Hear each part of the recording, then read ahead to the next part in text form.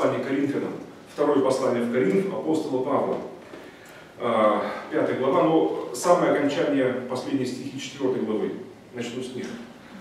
Э, деление на главы, оно как бы более позднее, это было одно письмо в Коринф, второе письмо апостола Павла. Э, в конце четвертой главы говорится, что мы смотрим на не на видимое, но на невидимое. И вот э, окончание этого стиха, следующее, и этой главы 4, написано э, «видимое временно, а невидимое вечно». И дальше говорится э, «ибо знаем», уже пятая глава начинается такими словами, «ибо знаем, что когда земной наш дом, эта хижина разрушится, мы имеем от Бога жилище на небесах, дом неработворенный, вечный. От того мы и воздыхаем, желая облечься в небесное наше жилище. Только бы нам и одетым не, оста- не оказаться нагими. Ибо мы, находясь в этой хижине, воздыхаем под бременем, потому что не хотим совлечься, но облечься, чтобы смертное поглощено было жизнью. На сие самое и создал нас Бог, и дал нам залог Духа. Итак, мы благодушествуем, всегда благодушествуем, и как знаем, что, водворяясь в теле, мы устранены от Господа, ибо мы ходим верою, а не видением, то мы благодушествуем и желаем лучше выйти из тела и водвориться у Господа. И потому ревностно стараемся, водворяясь ли, выходя ли, быть Ему угодными. И э, в, этом же, в этом же разделе, в этой же пятой главе, в 19 стихе говорится, Бог во Христе примирил с собою мир, не вменяя людям преступлений их, и дал нам слово примирения. И дальше говорится, что мы посланники от имени Христова. Просим, призываем этот мир примириться с Богом. Друзья, братья и сестры, э, вот хочу свидетельствовать. Э, Я приехал сегодня с сыном своим, вот с Николаем, нашим старшим сыном. Бог нам дал троих э, сыновей и троих дочерей. Слава Богу. Вот. И внука пока одного, ждем сейчас внучку, ждем, ожидаем, слава Богу. Вот. И знаете, я благодарю Бога за всемогущего, вот, Бога всемогущего за эту, эту милость, благодать. Вот. И как говорится здесь, что ви- видимое, оно временное, а невидимое, оно вечное. Есть э, э, много видимого, э, красивого, но есть невидимая красота, знаете ли, есть вечная, истинная.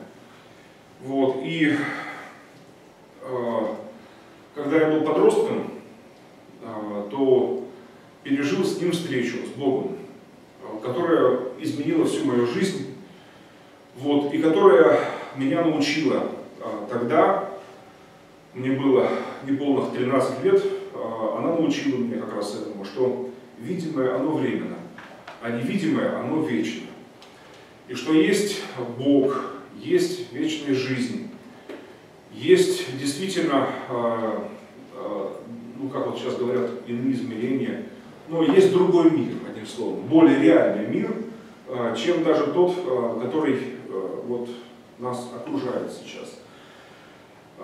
Тогда это мне было очень чудно все узнать, конечно, потому что я вырос в лучших традициях марксистско-ленинской философии, идеологии. Вот. Родители были атеистами убежденными, дедушки и бабушки были атеистами, ну, по крайней мере, вот дедушка и бабушка, родители моего папы, они были даже э, такие почетные атеисты, будем так говорить, воинствующие, ветераны ЧК и НКВД. Вот. Э, И, в общем-то, э, знаете, э, мои прабабушка, прадедушка были тоже воинствующие, были безбожники еще в 19 веке, получается, при царе, но отрекшиеся от всякой религии, вот, и были революционерами, вот, и они с головой пошли в этот омут революции, знаете ли, веря в то, что ни Бог, ни царь, ни герой нам не дадут избавления, но своей собственной рукой достигнем этого. Они в это верили, я не сужу их, они сделали свой выбор тогда. Вот. Они верили, что это лучшая судьба будет. Но жизнь показала, прошли поколения, жизнь показала, что э, мои бабушка, дедушка и прабабушка и прадедушка, они ошибались, выбрав неверный путь. Я это понял в 13 лет. Э, понял удивительным образом, пережив встречу с Богом. О Боге, о Боге я не знал ничего, ни хорошего, ни плохого, даже не знал, что он еще существует в природе. Вот, э, вот, но я пережил с ним встречу. Каким образом я умер, заболел, э, умер, вот, врачи не смогли спасти меня. Тогда я заболел э, двусторонней пневмонией, одним словом. Оба, легких отекли и наступила смерть. Вот. Жизнь моя оборвалась очень рано, получается. 12 с половиной лет, ну что такое, еще, еще пацан, еще, э, знаете ли, подросток еще не взрослый человек, но, а, знаете ли, смерть не щадит а, ни старых, ни малых, никого. Вот. И вот моя жизнь ворвалась вот так вот трагично. Конечно, врачи утешали как могли а, моих родителей, сказала, врач, что, врач сказал, что у вас есть еще ребенок, ну, мой младший брат, и что вы еще молодая женщина, можете еще родить еще. Вот, но уже все. Значит, и но, на удивление всем, э, я воскрес тогда вот, из мертвых, ну, как говорят, клинической смерти. Вот, мое воскресенье врачи попытались как-то объяснить родителям тогда, вот, что, как бы, ну, как второе дыхание как бы, организма, как бы, как-то еще, э, э, знаете ли, но исцеление мое никак не могли они объяснить, потому что очищение обоих легких, ведь я умер от того, что оба легких отекли, знаете ли, это как бы, значит, э, никакое второе э, дыхание организма, как бы, оно не может там, значит, очистить оба легких сразу. Вот. Я ушел, э, хрипя и свистя, значит, зашел в тело, когда свое вернулся, то я дышал ровно, без хрипов, без свистов, абсолютно ничто не болело, ну, по мере захождения, имею в виду. Вот. Уже там, где я заходил, там я уже не болел. Вот, и полностью зашел в самого себя. То есть а до того, до момента смерти, знаете ли, я не знал э, вообще, что есть э, душа, есть э, что-то другое, помимо того, что я вот могу пощупать, потрогать, в чем я могу жить. Я не знал, что это, это, я, это я, это я. И сейчас перед вами это я. Но это не совсем я. Э, это как бы вот э, то, что внешне.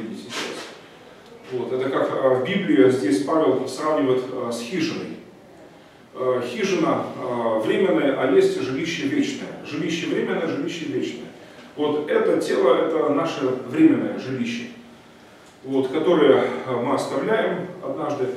Но в моей жизни самое интересное произошло вот как раз в момент между смертью и воскресением. Вот в этот короткий промежуток времени какие-то минуты, но э, эти минуты изменили всю мою жизнь. Э, в земном измерении это были минуты, э, в том, в небесном измерении, можно так выразиться, это было достаточно продолжительное время, чтобы очень много что произошло. Вот. Ну, во-первых, я был перед Богом. Первая мысль была очень глупая, мне очень было обидно, чувство обиды было такое за то, что меня обманули вроде как бы, потому что мне не сказали, что Бог есть. Я был в очень глупой ситуации, а, еще даже за секунду до смерти, не зная, что Бог существует вообще, что, есть, что я вообще буду после смерти существовать. Об этом у меня было ноль информации. Вот. Но э, околосмертный опыт это э, один опыт, а сам смертный опыт это уже другой опыт.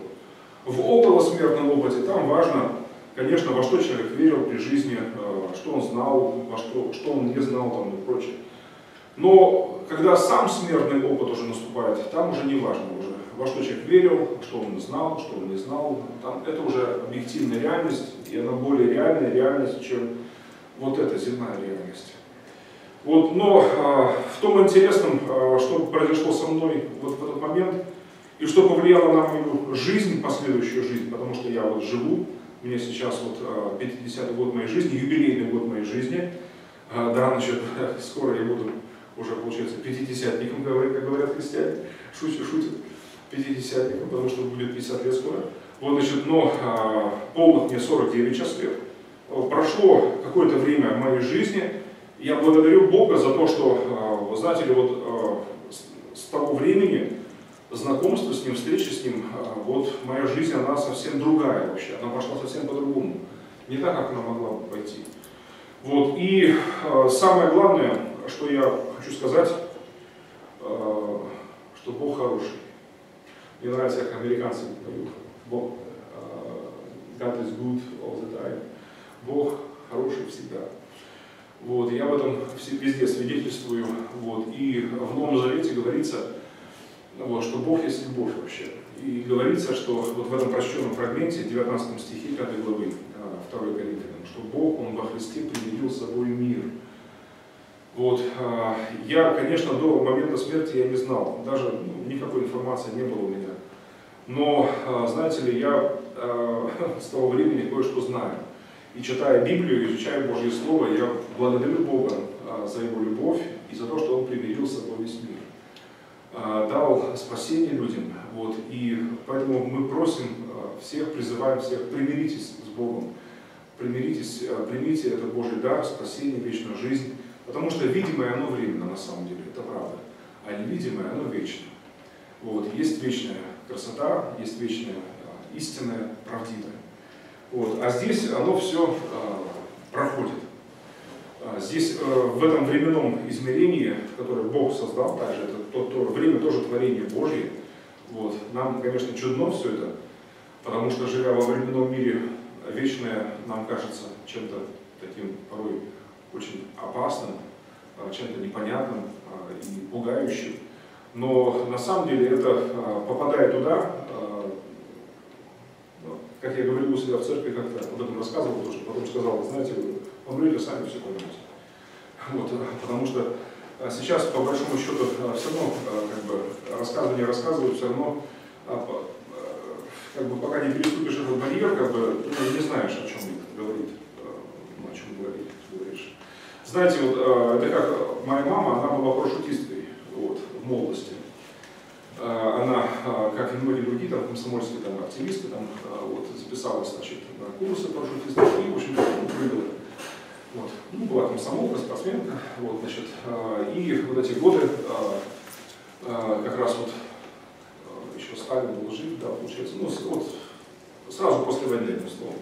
А, среди молодежи было такое популярное такое движение, увлечение парашютным спортом. Вот, значит, и вот она тоже была, прыгала. И вот она рассказывала о своем опыте прыжков этих. Вот, значит, и она говорила, что когда было дело только лишь в инструкциях и в изучениях, это была как бы одна, значит, один спорт.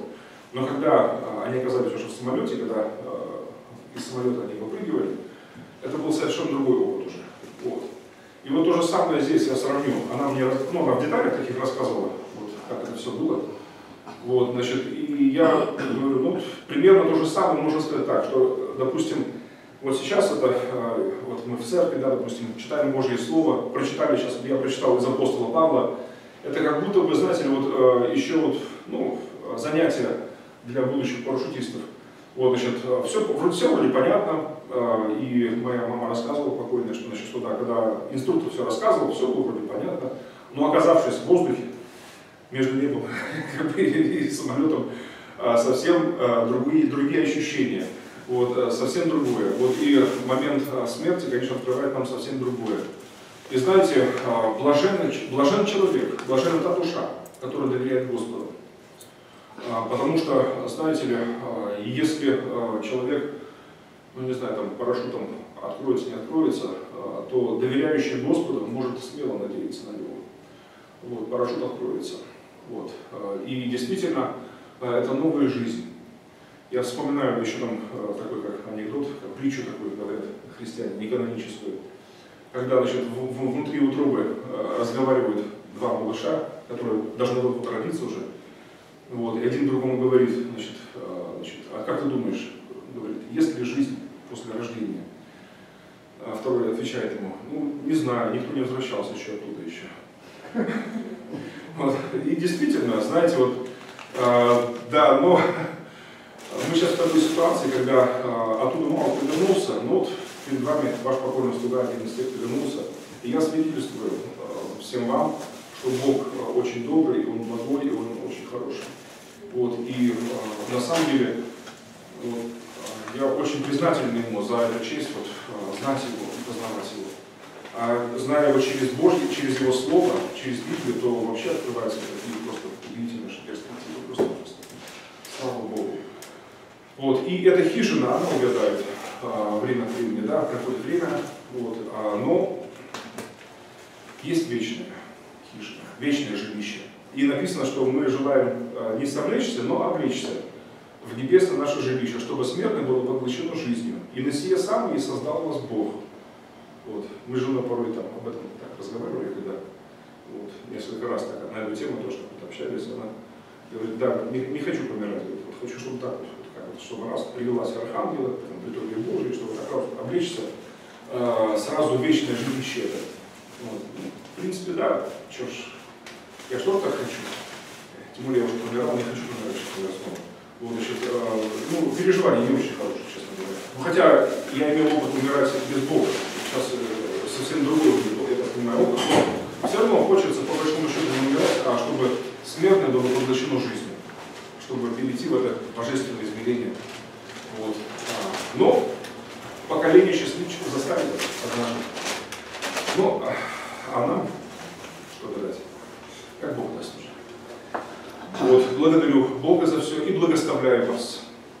А, и, дорогие друзья, и еще вот сейчас спою благословение, знаете, но еще хочу пару слов сказать. Э, сегодня такой особый день вообще, кстати, сегодня первое воскресенье октября месяца, э, день молитвы за Иерусалим. Э, в разных церквях, в разных конфессиях, деноминациях, там огромное количество церквей, до полмиллиона сейчас церквей участвуют по всему миру в этой молитве. Вот, и что благословляю, конечно, Петербург, люблю Петротворение, Здесь на берегах Невы пусть э, вот это пробуждение божественное происходит. Вот, но э, молясь за разные города э, этого мира, э, у меня всегда в списке первым э, Иерусалим. Как в Псалме 121 говорится в шестом стихе, э, что мы должны молиться за Иерусалим, просить мира ему. Вот, а шалом, там слово стоит, шалом, мир. Шалом это не просто как мир, как у Толстого, война и мир, да? а не просто как мир, как отсутствие войны, а мир с Богом в первую очередь, и мир в Боге. Вот так вот. Так что желаем шалом Иерусалиму. Помолимся, друзья, да? Да. Спасибо тебе, Господь, за все. Благодарю Тебя, Боже всемогущий, благодарю Тебя за Слово Твое, которое есть свет нам, Господь, и истина Твоя, освобождающая истина действительно. Слава Тебе. Благодарю Тебя, что сейчас, Боже, действительно, видимое оно временно, а невидимое вечно. Потому и молясь, мы часто закрываем глаза, потому что действительно, Боже, мы устремляемся умом нашим, душой нашей э, к тому, что нельзя увидеть э, глазом. Но то, что не видели наши глаза на этой земле, то, что не слышали наши уши на этой земле, то, что, Господь, не приходило нам на сердце, Ты приготовил, Боже наш, приготовил, Господь, на небесах. Слава Тебе, Господь, за все. Благодарю Тебя и благословляю великое имя Твое. Боже, и благослови сегодня Иерусалим, Господь. Боже, пошли мир свой Иерушалайму, Господь. Как сказано в Псалме в 121, просите мира Иерусалиму. Да благоденствует благословляющий, молящийся за Иерусалим. Слава Тебе, Господь. Благословен Ты, Царь наш, Бог наш. Да благословит Тебя Господь и сохранит Тебя да призрит на тебя Господь светлым лицом своим и помилует тебя. Да обратит Господь лицо свое на тебя и даст тебе мир. Во имя Иисуса Христа. Аминь. Аминь. Аминь.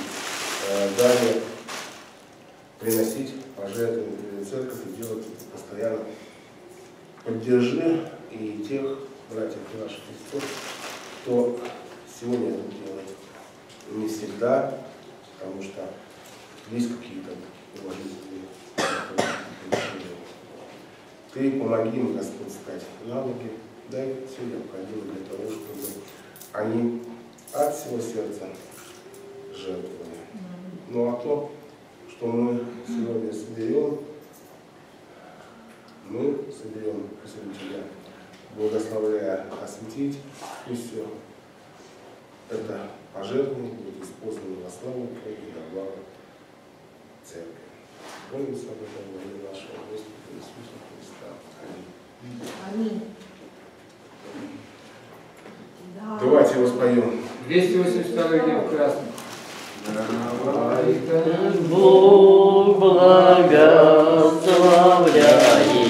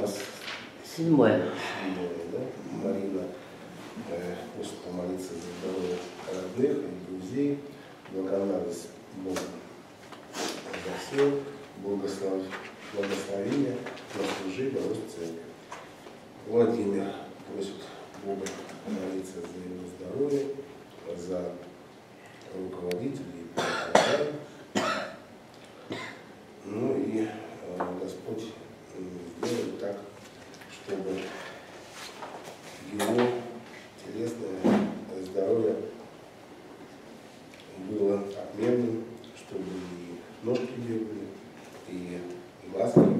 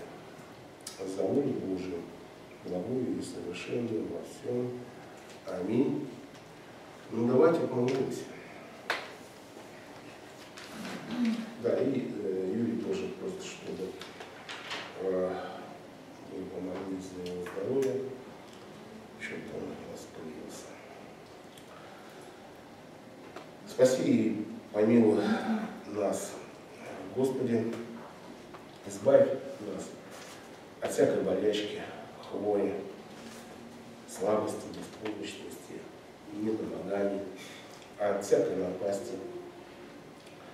от всякой страсти, от всякого злого дела и связанного с ним страданиями и скорбей, ну и, конечно, от всякой болезни и исцели и освободи и э, сестру нашу Марину, и брата нашего Владимира, и э, сестру нашу Аллу, которая молится за Аню Танечку и Дарину, а также Господь поддержи и укрепи и нашего брата Евгения, поддерживая, поддержи здоровье нашего брата Юрия, исправляя э, все его недомогания, э, все его немощи, ну и проявляя таким образом э, силы Твои, Господь, через его служение, а также, Господь, я прошу Тебя, чтобы сила Твоя, которая совершается в нашей немощи, проявлялась в жизни каждого из нас. Я молю Тебя о том, чтобы мы совершенно четко и ясно осознали, э, что лишь только расписавшись в своей беспомощности и своей немощи, э, мы можем абсолютно и полностью оказаться в руках Твоих. И знать, что Ты будешь нами и водительствовать, и направлять, куда э, мы должны пойти, и давать нам здоровье, и помогать нам во всех наших добрых начинаниях. Я прошу Тебя, Господь, чтобы Ты принял нашу благодарность, благодарность наших уст и прибыл и сегодня, и всегда Духом Твоим Святым с каждым из нас. Но мы все вместе и по отдельности будем славить Тебя, где бы мы ни находились, и поклоняться Тебе, так как это должно в Духе и истине, во имя нашего Господа Иисуса Христа. Аминь. Ну а сейчас давайте встанем и почитаем молитву наш. Отче наш, сущий на небесах, да светится имя Твое, да придет царствие Твое, да будет воля Твоя, и на земле, как на небе. Хлеб наш насущный, дай нам на сей день, и прости нам долги наши, как и мы прощаем должникам нашим. И не веди нас в искушение, но избавь нас от лукавого, ибо Твое есть царство, и сила, и слава во веки. Аминь.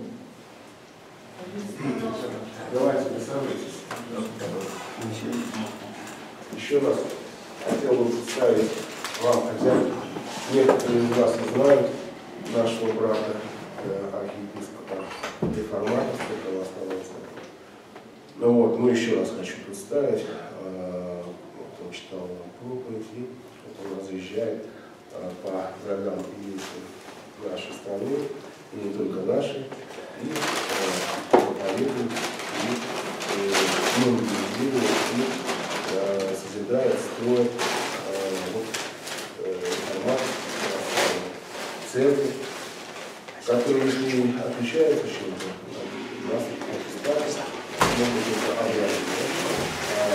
Но таких кстати много на самом деле, например, англикане, у них католические обряды, а учение религиозное. Ну, еще что. В Германии э, есть некое соединение христианской церкви и э, лютеранской в одну, да, там вот такое соединение. Они совместно проводят э, богослужение. Ну, то есть есть, э, есть, есть некие устремления э, к совершенствованию, к реформированию. Э, вот. И давайте будем верить в то, что это все угодно Богу.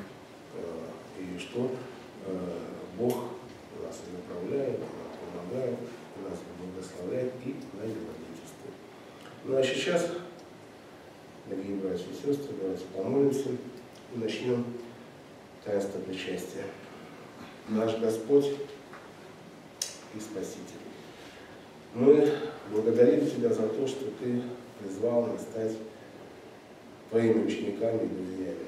Также мы благодарим Тебя за то, что Ты собрал нас вокруг Твоей святой трапезе, подобно тому, как Ты некогда собрал своих первых учеников в верхней комнате, сказав им, идите, сие есть тело мое, и сие есть кровь моя, нового завета за многих изливаемая. О Господь, как Ты пришел к нам таким путем, оставаясь при этом на небесах, превосходит наше понимание. Но нам достаточно знать, что мы грешники, а Ты истинный Спаситель. Теперь, Господи, когда мы готовы прийти к Твоей трапезе, в донном смирении, истинное покаяние и готовность принять Тебя, уверь нас в том, что наши грехи прощены, благослови нас, когда мы приступим к Твоему свету, к Твоей силе, во имя Господа нашего Иисуса Христа. Аминь. Ну, давайте еще вознесем молитву, молитву покаяния, да?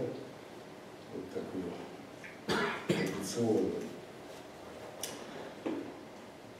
Веруем, Господи, и исповедуем, что Ты есть воистину Христос, Сын Бога Живаго, пришедший в мир грешных спасти, и из них я первый есть. Еще веруем, что это есть самое пречистое тело Твое, это есть самая чистая кровь Твоя. Молимся к Тебе. Помилуй нас и прости нам все прегрешения наши, вольные и невольные, словом, делом, ведьмым, неведением, совершенным, исподоби нас и осужденных, и частицах, и чистых Твоих таинств, в оставлении грехов и жизни. Вечером сегодня в тайне Сыне Божий, причащающийся нас, прими, не вратами Твоими тайну откроем, не вокзале Тебе даем, как Иуда, но как разбойник исповедуем Тебя. Примени нас, Господи, Царство Твое, да не суд ли осуждение будет нам причащение святых Твоих таинств, Господи, но исцеление души и тела. Во имя Отца и Сына и Духа Святаго. Аминь. Аминь.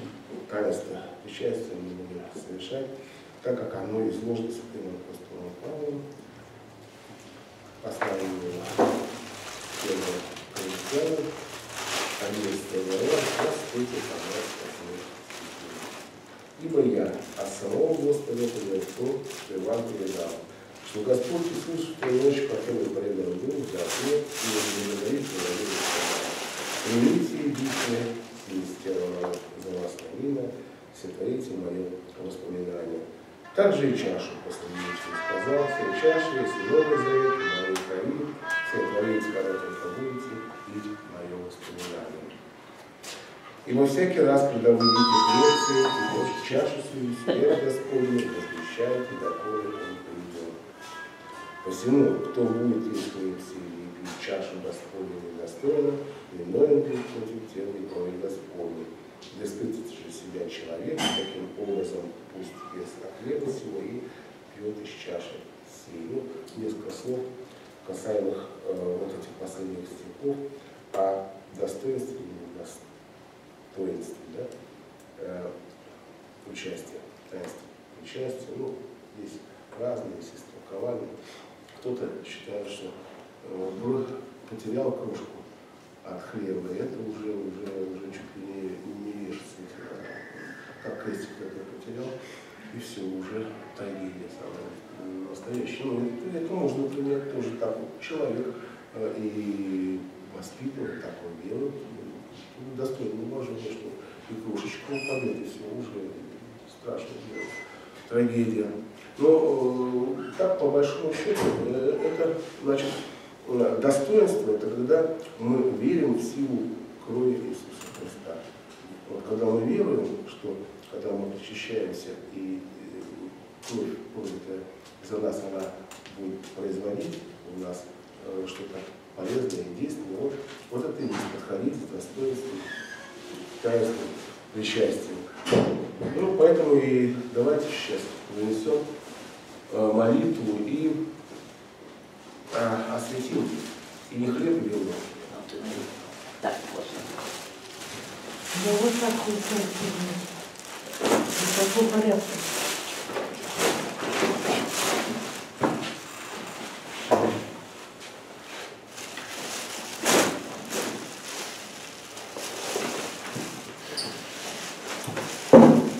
Твоя, Господи, жертва, Твоих тебе вложено всякий Господь. Милостью помощь Ты Божия жертва, разумно, богопознание, и сожжение, сокрушение, и сердца. За духовное служение возносим Тебе в молитве. Не пошли Духа Твоего Святого на звездную гору и очисти от нас, Господи, от всяких против Духа. В день Пятидесятницы, очень небесный, ты дал Духа Святого Апостола. Так и сегодня пошли Духа Твоего Святого на здесь присутствующих и обнови молящихся к Тебе. Сердце чистое, создай нас, Господи, Духа правды, Духа Святого обнови каждого из верующих. Не отвергни лица Твоего и Духа Твоего Святого не отвергни от верующих Тебя. И благослови, Господи, святой хлеб, сотворив хлеб сей, как знак невидимой Твоей благодати тела Христа Твоего. Аминь. И благослови, Господи, святую чашу, в чаше сей вино, как знак невидимой Твоей благодати честного. Аминь. Благослови, Господи, эту чашу, приложи Духом Твоим святым, во имя Отца и Сына и Духа Святаго. Аминь. Давайте встанем.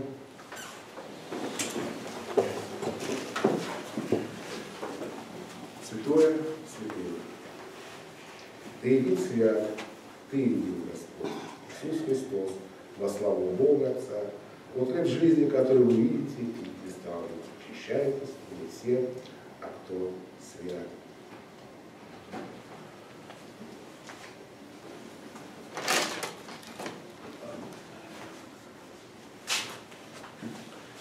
Святое Святым, Ты един свят и един Господь Иисус Христос, во славу Бога Отца, честно, истинно Иисуса Христа, Сына Божия, которая кровь спасения нашего.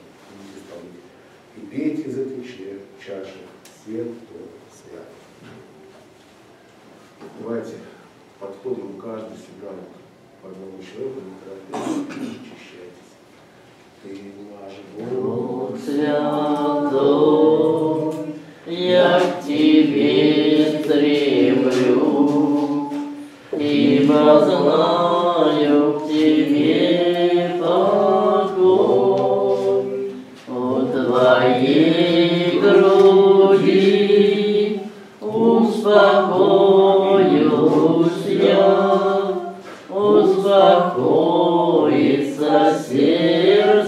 мое.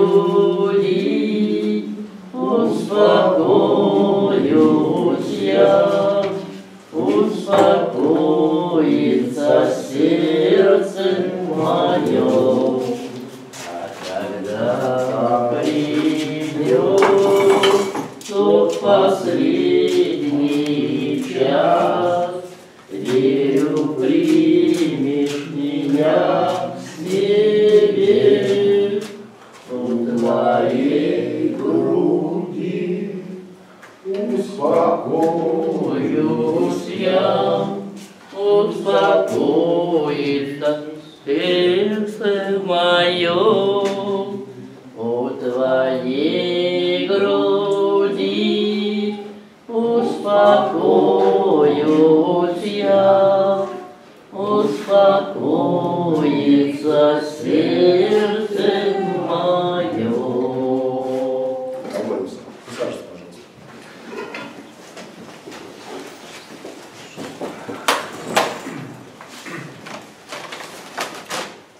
Слава тебе, Боже, слава тебе.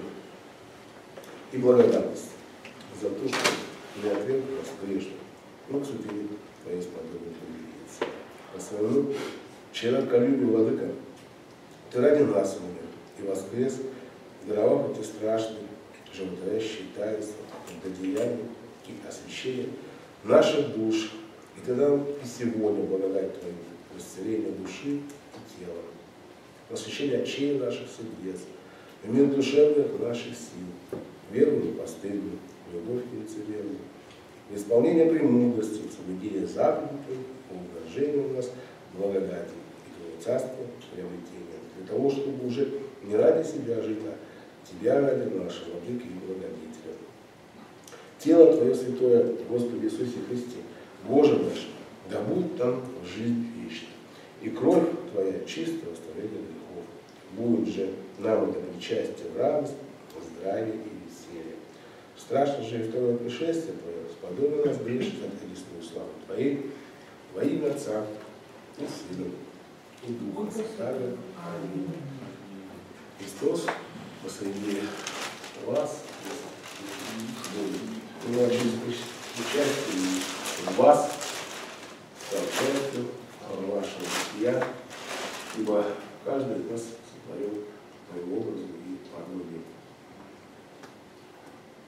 Э, В одном из Евангелий, в Луке говорится о том, что Иисус Христос знает своего Небесного Отца, и Небесный Отец знает Его. Э, Точно так же э, в этом тексте говорится о том, что и Господь наш Иисус Христос, как Он своего Отца знает, так Он и нас знает. О каком знании идет речь? Конечно, не о рациональном э, знании, о нем говорится, что оно убивает. Э, Знание э, в Библии э, – это любовь. Э, И именно любви апостол Павел и посвящает многие э, свои э, послания, в частности, э, первое Коринфянам. И просит от каждого из нас, чтобы мы ревновали по этому поводу. И вот это знание Бога, знание Иисуса Христа и знание Иисусом Христом каждого из нас и есть